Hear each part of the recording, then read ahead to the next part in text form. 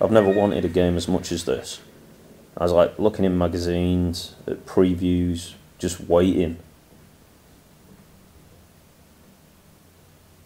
When I got it, I mean, opening it. I, I completed it the very same day, and then I instantly started it over, which isn't something I'd usually do. Um, it's very rare that kind of thing, especially with a game like that. Uh, although it's different to the first four games, I'm including um, Code Veronica. If you uh, you're wondering why I've said four, you know it's still great. I do like the tank controls. It's slightly different, but it's still good. The graphics at the time, absolutely better than anything I'd seen on the GameCube for certain. Metroid was up there as well, but I wasn't really into Metroid. Not with it being 3D. Anyway, we're off off topic. Uh, sound of music, nice and eerie.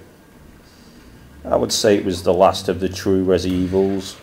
Mm, is is hoping Seven can fix this, and and it's an awesome game, and I'd recommend it.